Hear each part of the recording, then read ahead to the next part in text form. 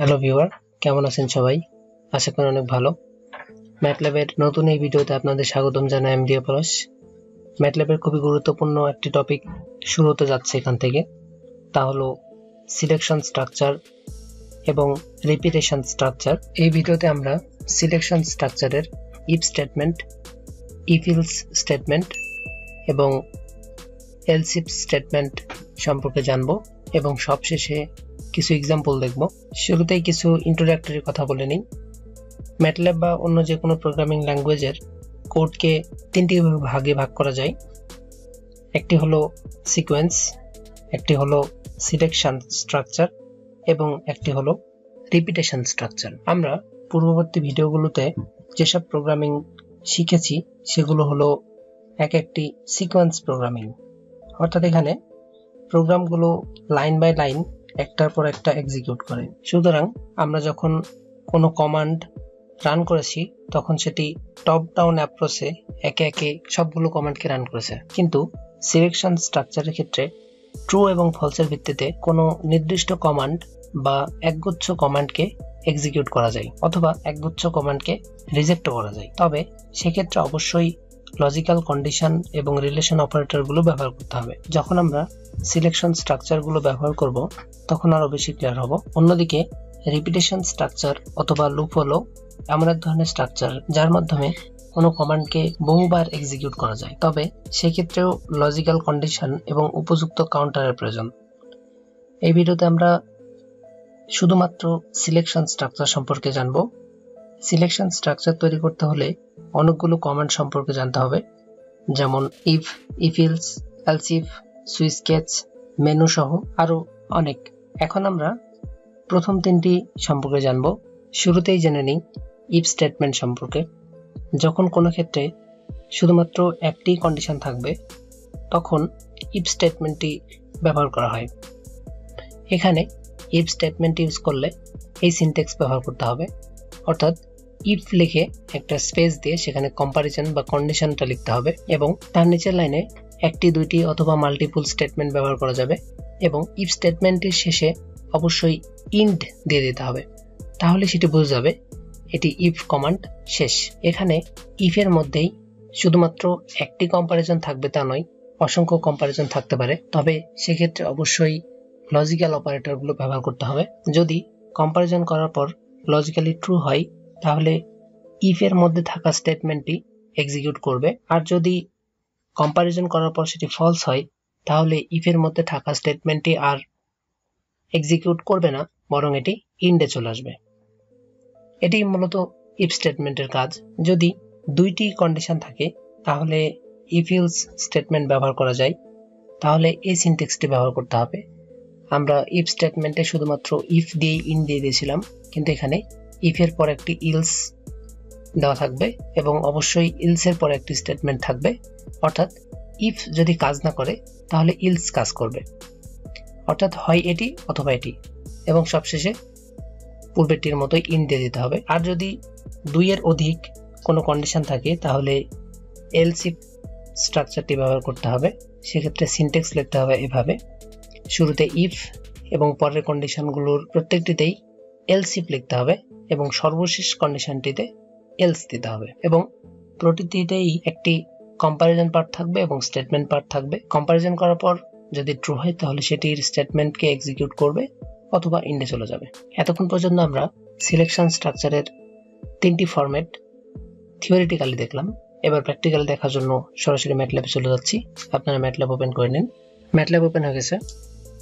শুরুতে আমরা ইফ স্টেটমেন্টের ব্যবহার দেখব। আপনাদের দেখা সুবিধার্থে কমান্ড উইন্ডোটিকে এদিকে সরিয়ে নিচ্ছি, তাহলে বুঝতে সুবিধা হবে। এবার এখানে প্রোগ্রাম লিখব এডিটর উইন্ডোতে পূর্ববর্তী প্রতিটি প্রোগ্রামের মতোই শুরুতে CLC close all clear all লিখে নিই। শুরুতে CLC close all clear all লিখে নিলাম। এবার এমন একটি প্রোগ্রাম তৈরি করতে চাচ্ছি, যেখানে একটি পাসকোড থাকবে, অর্থাৎ ইউজার একটি পাসকোড ইনপুট দেবে। যদি সেটা কারেক্ট হয়, তাহলে দেখাবে ইউ আর কারেক্ট তাহলে শুরুতেই ইউজারের কাছ থেকে ইনপুট নেওয়ার জন্য আমরা ইনপুট ফাংশন ব্যবহার করছি।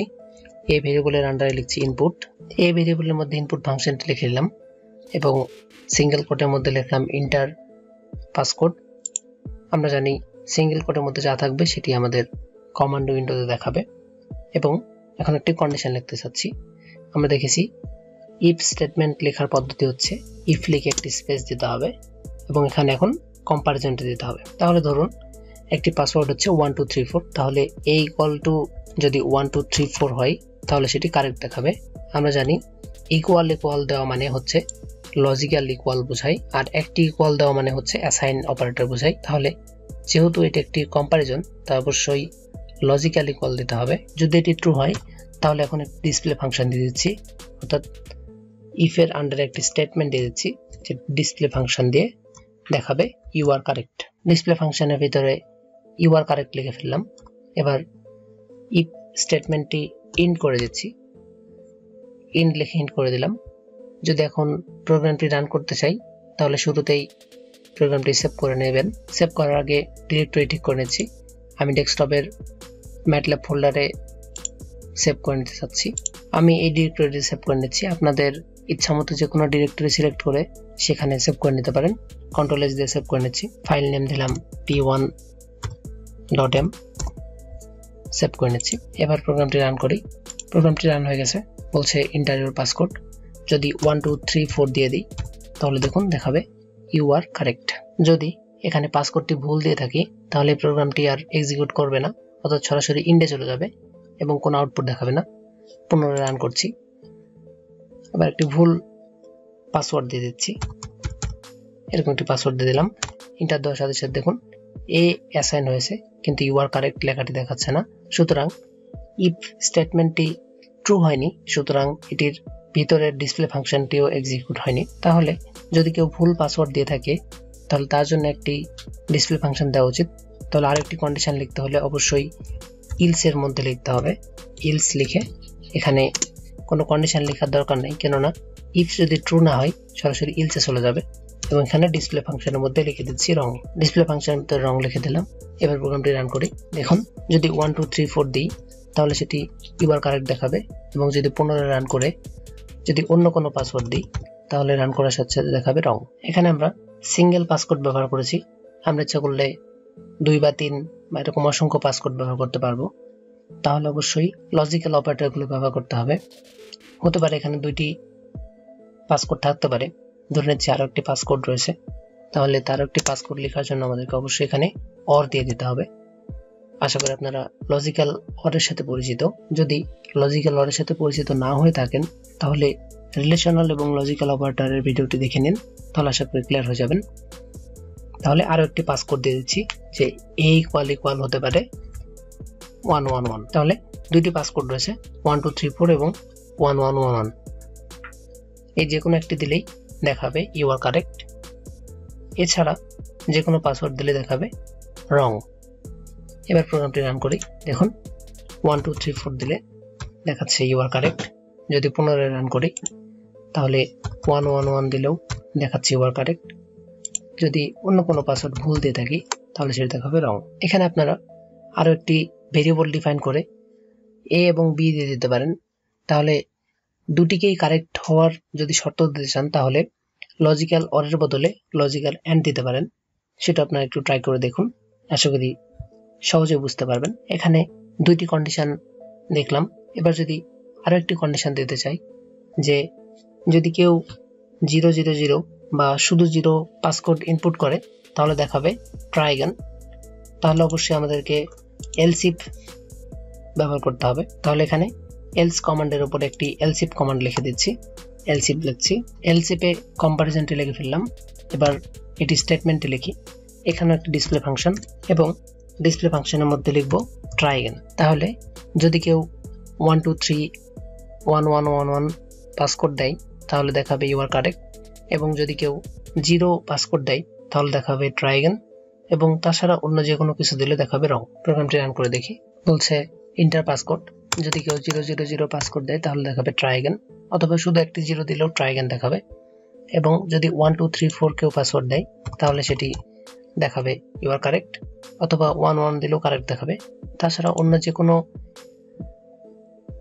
রং পাসওয়ার্ড দিলে দেখাবে রং এভাবে আমরা খুব সহজেই if else if if else স্টেটমেন্টগুলো ব্যবহার করতে পারি। এবার আরও একটি গুরুত্বপূর্ণ প্রোগ্রাম দেখব যেটি হচ্ছে লিপিয়ার বা অধিবর্ষ বের করার প্রোগ্রাম। প্রোগ্রামটি লেখার জন্য আমরা এই এডিটর উইন্ডোটিই ব্যবহার করছি। তার জন্য এগুলো কেটে দিচ্ছি। জাস্ট ইনপুট ফাংশনটি রাখব এবং ইনপুটের ভেতরে এটিকে চেঞ্জ করে দিচ্ছি। ইন্টার এ ইয়ার লিখে দিই। আমরা জানি কোন একটি লিপিয়ার বের করার শর্ত হচ্ছে, উক্ত সালকে যদি চারশো দ্বারা ভাগ করে ভাগশেষ জিরো হয় তাহলে সেটি লিপিয়ার। অথবা উক্ত সালকে চার দ্বারা ভাগ করে যদি ভাগশেষ জিরো হয় এবং একশো দ্বারা ভাগ করে যদি ভাগশেষ জিরো না হয়, তাহলে সেটি লিপিয়ার। নচেত সালটি লিপিয়ার নয়। তাহলে এই দুটি কন্ডিশন লিখলেই আমাদের লিপিয়ারের প্রোগ্রামটি শেষ হয়ে যাবে। তাহলে শুরুর কন্ডিশনটি হচ্ছে, সালকে যদি চারশো দ্বারা ভাগ করার পর যদি ভাগশেষ জিরো হয়, তাহলে সেটি লিপিয়ার। আমরা ভাগ শেষ বের করার জন্য একটি ফাংশনের সাথে পরিচিত, যেটিকে আমরা বলি রিমাইন্ডার ফাংশন তবে আমি এখানে রিমাইন্ডার বা আরইএম ফাংশনটি ব্যবহার না করে মোড ফাংশনটি ব্যবহার করছি। এটিও মোটামুটি রিমাইন্ডার ফাংশনের মতোই কাজ। তাহলে এখন ইফ স্টেটমেন্টের মধ্যে এখন একটি কন্ডিশন লিখব, যেটা হচ্ছে মোড অর্থাৎ কোন একটি ইয়ারকে চারশো দ্বারা ভাগ করতে হবে। তাহলে এ কমা চারশো লিখলাম। তার মানে এ যে সালটি ইউজার ইনপুট দেবে, সেটিকে চারশো দ্বারা ভাগ করা হবে। যদি সেটি ইকুয়াল ইকুয়াল জিরো আসে, তাহলে সেই সালটি হবে লিপিয়ার তাহলে এখানে কম্পারিজনটি লেখা শেষ। এবার আমাদেরকে স্টেটমেন্ট লিখতে হবে। কম্পারিজন লিখতে আমরা মোড ফাংশনটি ব্যবহার করেছি। মোড বাকে মডিউল অপারেটর বলে, যাতে ভাগ করার পরে রিমাইন্ডার কত থাকবে তা দেখা যায়। এই জন্য মোড ফাংশন বা রিম ফাংশন ব্যবহার করা হয়। আপনারা যারা how to use MATLAB as a calculator এর ভিডিওগুলো দেখেছেন, তারা রিমাইন্ডার ফাংশনের সাথে পরিচিত। তবে আমি এখানে এই মোড ফাংশনটি ব্যবহার করতে বেশি অভ্যস্ত। আপনার রিমাইন্ডার ফাংশন ব্যবহার করে দেখতে পারেন, একই অ্যান্সার পাবেন। এখন এটির মধ্যে স্টেটমেন্ট দিয়ে দিচ্ছি। এ প্রিন্ট অ্যাপ দিয়ে দিই। এ প্রিন্ট অ্যাপের মধ্যে লিখলাম পার্সেন্ট ডি ইজিলি পেয়ার আমরা জানি পার্সেন্ট ডি হচ্ছে ডেসিমাল কোনো সংখ্যা বা ইন্টিজার কোনো সংখ্যা প্রকাশের জন্য এবং কমা দেওয়ার পর এ লিখেছি, সুতরাং ইউজার এ ভেরিয়েবলে যা ইনপুট দেবে, সেটি এখানে দেখাবে এবং যদি কন্ডিশনটি ট্রু হয় তাহলে দেখাবে, ওই সাল ইজ এ লিপিয়ার এবার পরবর্তী কন্ডিশনটি লিখতে হবে। পরবর্তী কন্ডিশন লেখার জন্য অবশ্যই এলসিপ দিতে হবে। এলসিপের মধ্যে অ্যান্ড অপারেটরের সাহায্যে দুটি কম্পারিজন লিখে ফেললাম। আমরা শুরুতে বলেছি, লিপিয়ার বের করার আরও একটি শর্ত হচ্ছে, যদি ওই বছরকে চার দ্বারা ভাগ করে ভাগশেষ জিরো হয় এবং একশো দ্বারা ভাগ করে ভাগশেষ যদি জিরো না হয়, তাহলে সেটি লিপিয়ার। এটির ভিতরে পূর্বের মতো স্টেটমেন্টটি লিখে দিচ্ছি। সুবিধার্থে কপি করে পেস্ট করে দিচ্ছি। পেস্ট করে দিলাম। এবার যদি এই দুটি কন্ডিশনের মধ্যে এক্সিকিউট না হয়, তাহলে এলস দিয়ে দেব। এখানে যার শুধু ডিসপ্লে ফাংশন দিয়ে লিখে দিতে পারি। নট এ লিপিয়ার এবং সবশেষে অবশ্যই ইন দিয়ে দিতে হবে। ইন দিয়ে দিলাম। এবার যদি প্রোগ্রামটি রান করি, বলছে ইন্টার ইয়ার যদি ইয়ার দিয়ে দিই লেটসে দিয়ে দিলাম দুই হাজার ষোলো। দেখুন, দুই হাজার ষোলো একটি লিপিয়ার তাই দেখাচ্ছে। যদি অন্য একটি লিপিয়ার ছাড়া অন্য একটি বছর দিয়ে দিই, ধরে নিচ্ছি দুই হাজার এক। দেখুন, দেখাচ্ছে নট লিপিয়ার আপনারা অন্যান্য সাল ট্রাই করে দেখতে পারেন। আশা করি আপনারা লিপিয়ার বের করার এই প্রোগ্রামটি বুঝতে পেরেছেন। যদি বুঝে থাকেন, তাহলে ইফিলস বা এলসিপ এবং ইফ স্টেটমেন্ট সংক্রান্ত আরও আপনাদের হাতের কাছে থাকা যে কোনো প্রবলেম সলভ করে দেখুন। আশা করি এই স্টেটমেন্টগুলো সম্পর্কে আরও বেশি ক্লিয়ার ধারণা পাবেন। এই ভিডিওটি এ পর্যন্ত থাকছে। সিলেকশন স্ট্রাকচারের অবশিষ্ট অংশ পরবর্তী ভিডিওতে দেখার আমন্ত্রণ জানিয়ে এখানে শেষ করছি। ভালো থাকুন, সুস্থ থাকুন। আল্লাহ হাফেজ।